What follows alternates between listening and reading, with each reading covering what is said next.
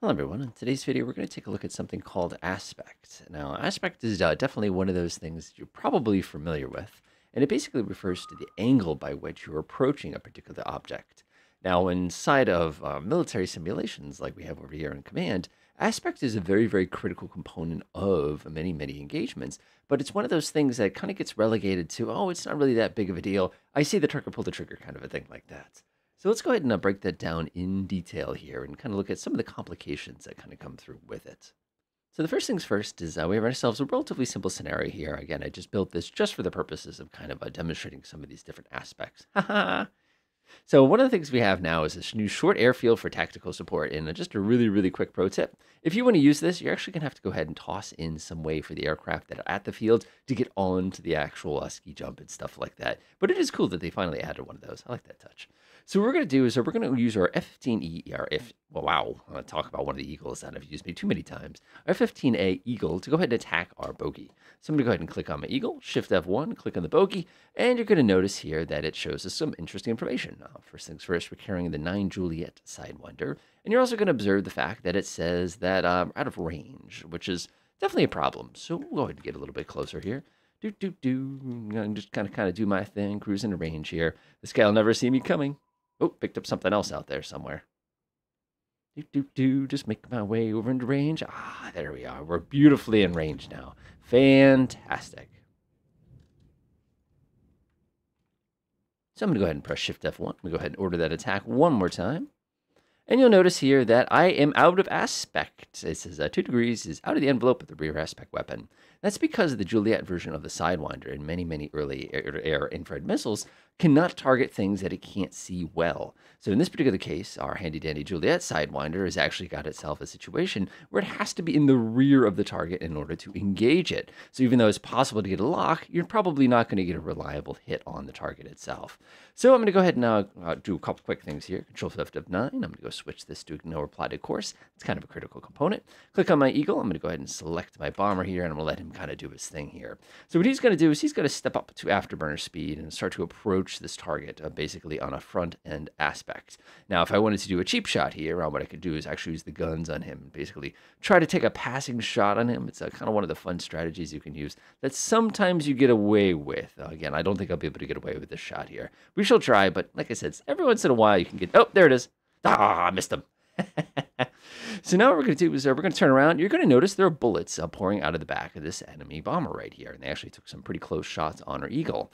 Now, what did you, you're sitting there going, wait, what? Well, believe it or not, this is a Bison. And uh, one of the reasons I pulled this particular aircraft out is because it has a rear aspect firing weapon. If you actually come up here, you'll notice here that it's got its little 23 millimeter cannon on the back and it faces the back. And you're like, why would it face the back? Actually makes perfect sense because our Eagle here, who just fired, by the way, you'll notice that we were able to go ahead and get a round off at this particular target, um, is well within the engagement profile of this. So we'll let them go ahead and fire some uh, sidewinders here. Now, one of the things you'll find very interesting here is the sidewinder shot to the back does not work very well. There's a lot of meat on that aircraft that's in the back of it, and uh, firing these little tiny 6.5 kilogram overheads here is not going to do much to it. As a matter of fact, you can see that's our third hit. So one of the other downsides of rear aspect attacks is, first of all, your target is running from your missiles, which limits your range. Notice, by the way, our range here. The second thing it does, of course, is it opens you up to people while firing from that direction. And then lastly, um, hitting things from the back doesn't do as much damage as hitting things from other directions. So what I'm going to do is I'm going to go ahead and open the scenario back up again. Yes, I need to name all my scenarios the same thing. It's just simple that way. And then what we're going to do is we're going to grab my eagle and we're going to replace my eagle with a more modern eagle here. I will do an F-15A, but we'll grab a nice 1995 with the Baz version. Cool, let's grab that. And now we're going to grab ourselves uh, some sparrows. That looks pretty good to me. I'm not actually going to fire the sparrows. We're just going to have the sparrows sort of on hand, so to speak. Uh, one of the things I actually like to do is to come in here like this. And then what you can do is you can come to the sparrows, you can actually get rid of them. And the advantage there, of course, is we're not going to get an accidental there. So what I'm going to do is the same thing we did last time. I'm going to go ahead and set this to be ignore plotted course. I like that. I'm going to click on my eagle, F1, and just like that. And what he's going to do, of course, now he's going to spin up all sorts of afterburner goodness, and he's going to come rushing at our target. Now, the AIM 9M, uh, not to be confused with the P. By the way, with AIM 9s, the letter, it's, it's complicated. Different letters mean different things. It doesn't mean that M is necessarily better than P or P is better than M and vice versa. You have to actually kind of be careful with that. Of course, the X is going to be the best of the Sidewinders. But what you're going to notice is we have a couple uh, new toys. Uh, we have a much, much bigger warhead, which is definitely handy for us. And the other thing, of course, now is we have the ability to engage a target from the front, which is super duper useful. See how it's an anti-air all aspect. Uh, that's actually really useful for us. So what we're going to do is we're going to approach this target from the nose this time, and we're going to take a pot shot down the barrel. And uh, things are going to get kind of interesting this time, and you'll see exactly why. Because now that we're approaching it in our shot, that increases our effective range. Because if we were to fire now, by the time the missile got to this point, our target would have already gotten to that point, which now means that we have less time for the engagement, which gives him less time to maneuver. It also means our weapon now is at traveling at a much, much higher speed. So I'll press Shift F1. I'll go ahead and select him real quickly. We're a little outside the DLZ range here, which is doesn't surprise me. This simply means um, if we were dealing with other types of targets, they could potentially outmaneuver it. But even then, a few seconds later, we go pop one of these things off, and that was a pretty good range too. That was about six or seven miles. So the Sidewinder, these are dogfighting missiles. They come ripping, and they're coming right into the front of the aircraft this time. Now, believe it or not, uh, even though these guys are slowing down rapidly, this bomber can't do a thing. And they're going to basically take those Sidewinders right off the nose there. And then, of course, we're going to have to fire a third Sidewinder. And you can see that made quite a mess of things. Actually, we just got that cheap shot. just the pass.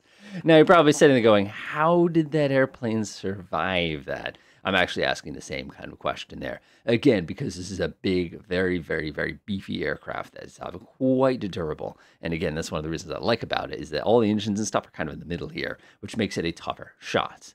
So now you're probably sitting there going, okay, I think I see exactly where you're going to go next. And I said, yeah, you're right. So a front aspect is one of the best shots that you can take against aircraft because it limits the maneuvering capabilities and it's very difficult to outturn it. But what happens when you get a side aspect? Uh, that's when we enter the land of the deflection shots. So let's go ahead and grab ourselves a Saudi Arabian F-15 here. I will do the Sierra Sidewinder, which is actually kind of interesting because notice we have M's. I'm sorry, we have just Sierras. I like that. Grab that one. I'm going to go ahead and order him to basically go like this. Go ahead, unpause. I'll, um, see him directly. Actually, what I'll do is I'll be nice to everybody and put him right here. And what I'm going to do is I'm going to take a side aspect shot. Now, side aspect shots are kind of interesting because what happens now is our missile is actually got to travel a significant lead on the target that we're attempting to engage here. So let me go ahead and now finish up my turn here, and line ourselves up so that we're basically taking a side aspect shot here. Now, these are tricky, tricky, tricky, tricky shots because now we've got a lot of physics working against us here to make this a more... Now, one of the safest ways to do that, by the way, is you can just delete the missile if you're trying to demonstrate something. Oh, there goes another one. Ah, that's the Sparrow. Perfect. So our Sparrow now is initially going to travel towards the target, and then what we're going to see is because we're taking this huge side aspect, is that our weapon is actually going to start turning and throwing itself into a lead against our weapon. Now notice, by the way, this is in real time. Uh, Sparrows are that quick. So you'll notice uh, it should have probably put a little more lead on him, but it creamed him. Now you're sitting there going, wow, that was the first time you've actually gotten a hit that actually killed something. But the reason, if we actually flip to the other side and take a look at this, you're going to notice that parts of the bomber that were struck here. Uh, we can see the initial hit here. Uh, we took a bunch of damage. We lost a radio. We lost our SPO. We lost one of our engines right away. We lost one of our other engines. Um, let's see, that one crashed. Uh, let's see, we have some more component damage. Uh, the radio radios are gone. We can go take a look at here. That one got blasted. The other engine got blasted. That engine got blasted. And you can see there that our crew decided to immediately get out of here because it ran out of functioning engines because our weapon struck them where the engines are versus the nose versus the tail. So you can already start to see why this starts to get, be a complicated problem. Now the problem gets more complicated. So let's go ahead and uh, get rid of our F-15 here. And uh, we have ourselves a handy dandy skunk. Um, of course, it's not just a skunk. It's something I put out there for the purpose of whack whacking here. Let's get ourselves an F-18C. Actually, yeah, we'll use the C today. Go ahead and get ourselves a 2014 flavor. And we want the, uh, let's see, actually, we'll take the harpoon, the nicer harpoon. We'll grab that one right there uh, because the nice harpoon is just a little tiny bit easier to use. There we go. Cool. So what does this mean for ships? Well, it's actually the same kind of problem that you're going to have with aircraft. And where we try to strike the ship is going to have a big impact on how easy it is to detect. It's going to have a huge impact on the fact that uh, when the weapon arrives, what's it going to target? So to demonstrate that concept, what we're going to do is we're going to use this F-18C here to actually engage our handy-dandy target that we have down below. And our goal here, of course, is to see what happens. So first things first, uh, we're on basically a nose aspect here, front front here. We've got a slight deviation as this uh, particular ship is actually moving. To uh, kind of improve our little whatevers here, I'm actually going to pull ourselves up just a little bit to make it a clean front shot here. So I'm going to press Shift F1, click on my target. I'm going to go ahead and pop off two harpoons here. And of course, it's going to yell at me saying you have to be at a lower altitude. Fine. And there we go, cruising on down. And you just got to get low enough. There goes one, there goes two. And that's it. He's off. Boop. So now what we have is we have a nose shot. Now, from a ship's perspective, this is uh, one of the worst places to be attacked from because most weapon systems and most fire control towers that you actually have on ships are going to be designed to kind of face off your beams here. So these two weapons here, this is actually perfect. So our missiles are coming in. Uh, they're moving very, very quickly here. And now where this is going to get interesting is uh, we're actually dealing with a carrier target. And a carrier target is going to be kind of fun here because of the fact that it has a very, very, very long nose. One of the things I can actually do here is I can turn this carrier a little bit so that it can kind of see it. Now, most of its anti-aircraft weapons, which it has none, by the way, this is a training aircraft carrier, they actually have those, are going to have a really, really tough time because of the fact that these missiles are going to be coming off the nose. Of course, since this one has no ESM to detect the fact that all these harpoon missiles, you can see them doing a little happy harpoon dance here um, are not detected. We're actually going to have to use a visual detection to actually spot those incoming weapons, which again makes it even more challenging. Oh, and we just get smacked in the nose all of the sudden with absolutely no warning. So let's see what happened here. So uh, we took a shot right off the nose. Uh, we got there was two harpoons that struck us, I believe. Uh, we lost the component. We uh, damaged, and of course that other one uh, nailed us right on the nose. We have an armor penetration as well, 100%. Let's see what it did. So let's go open up our damage control real quickly here. I'm being blind. There it is. And carrying magazines fine, sensors are fine, uh, data links are fine, air facilities. Um, usually you damage the deck when you hit off the nose there, but you can see we basically clunk right off the bow. Probably shot the anchor off or something like that. And this looking good, looking good, no problem. Because again, the weapons hit from the nose.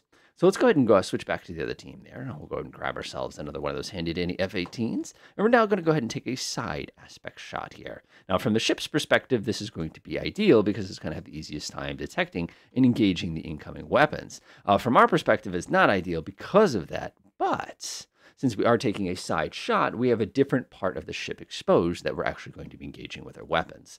Let's go ahead and flip on our handy radar there, make it a little bit easier to detect. And we can already see we were picking up with the tarps there. That's kind of interesting. Finish that flip around. We should get a pretty confident aim at where this guy is right now. Looks pretty good. Yep. So now we're going to take the side aspect shot. So this is going to be hitting the broadest part, the most detectable part of the ship, I should also add here. So we go ahead, pop those two off. I'll go ahead and delete him because he's done a nice job there. And those two weapons are going to come cruising on down here, making their thing. Well, we only fired one, but that's perfectly fine. I deleted him too soon. That's cool, though, because um, you'll still be able to see the effect of taking these side shots.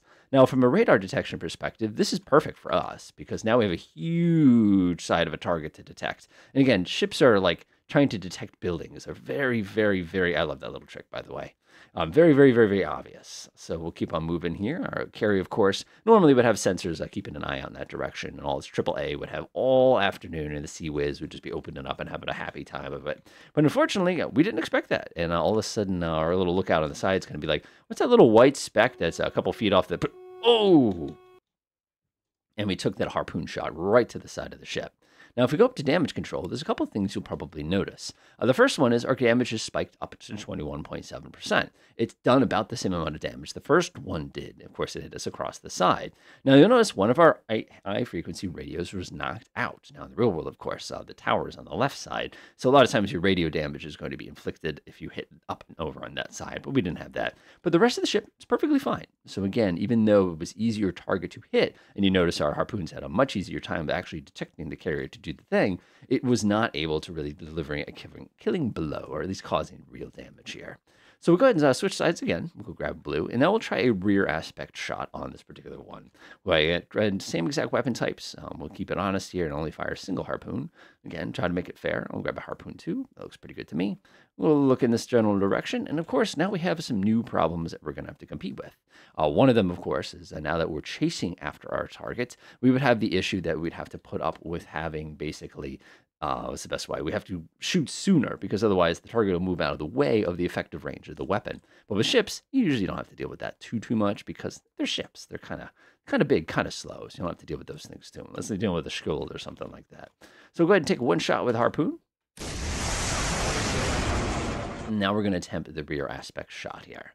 So the rear aspect shot, again, against the ship, this is an optimum place to hit it a lot of times because basically you're sneaking up on the ship, and that's going to give them a little less time to respond, assuming they're not looking in that direction. Notice, of course, we have flip on our little uh, surface radar here. We have no difficulty tracking the target, especially if the target accidentally starts turning on us or something like that. Um, they're never ever going to be able to see this thing coming from the rear. Now, a rear shot is kind of an odd shot, too, because a lot of times in the back of the boat, that's where you're going to have things like your helipads. Uh, that's where you're going to have stuff like uh, some of your weapon systems. Your VLS is usually in the back. You're very unlikely to get a propeller or rudder hit like this. Uh, the reason being is the anti-ship missiles generally hit pretty high. So again, we can see that it slams in the back of our carrier there. Click on him, a couple things you'll notice. Uh, he's at 32.5%, so again, it added about 10% damage. This is why I like the Harpoon. It's absolutely doo-doo as far as uh, causing damage goes. Go to our damage control here, and you can see that it did a significant amount of damage to the air facilities. So if you wanted to sort of interpret where this missile landed, most likely what it did is it came down and sort of dropped onto the top of the deck and hit it.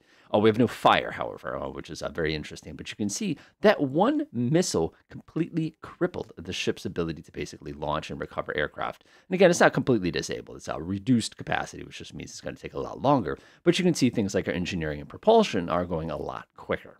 So as we can see, when it comes to ships, uh, it's a little willy-nilly as far as um, a missile hitting. Now, if we hit these guys with torpedoes from the rear aspect, that would be a different story. So what we're going to do now is now we're going to attack this particular platform with a missile that is designed to drop into the center. Yes, we've got front, we've got side, we've got rear, but with targets this large, we also have the top and the bottom that we can strike. So we're going to bust out a backfire. This is a Tupolev 22. This is one of the Tu-22s. The other one is the Tu-22A. That is not the same thing as the Tu-22M. They're very, very, very different aircraft, even though they have the same general kind of configuration. Now, the reason I really, really love this missile, and this is a KH-22, by the way, is the missile. is called a Kitchen, is because it's ridiculously, stupidly awesome. What it does is it basically goes whoop, turns around goes oh, and comes back. I know that sounds like a technical term there, but um, when you see what it does, I'll switch it to Tacview so you can watch it in action. It is the definition of a um, fire up and let it come back down to orbit sort of weapon. I'll show you what I mean here. Let's go switch on a 3D view. I'm gonna pop that one up real fast.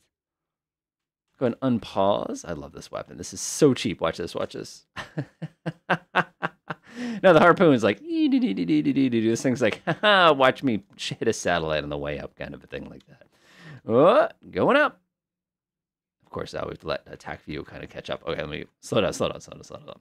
So our weapon uh, just hit the peak of its orbit, and uh, now it's uh, coming back down. And as you can see here from our aspect, we're hitting it kind of off the nose. And the other thing we're doing, as you can probably observe as we're coming back down, is we're pretty high up. So this aspect on this particular target, I mean, I wish it dropped a little bit straighter like some of the ballistic missile versions of this. It's going to hit pretty high. So you're going to get kind of a middle sort of side is all what we're seeing from this perspective. So let's go ahead and close that out. So go switch over to red real quickly here. Again, blissfully aware, uh, no fires. Uh, of course, the hangar facilities are all dented up all sorts of nasty. And then we have this thing, which is dropping in from orbit, uh, 23,000 feet, pushing about 1,600 knots.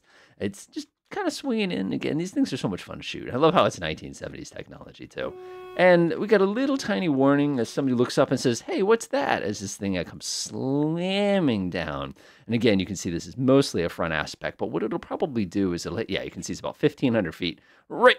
Oh no. uh, yeah, I forgot to mention this was uh, 1970s technology. Let me get another one of those. Well, that worked. Sorry about that. It uh, because of the way the recording worked, I missed it.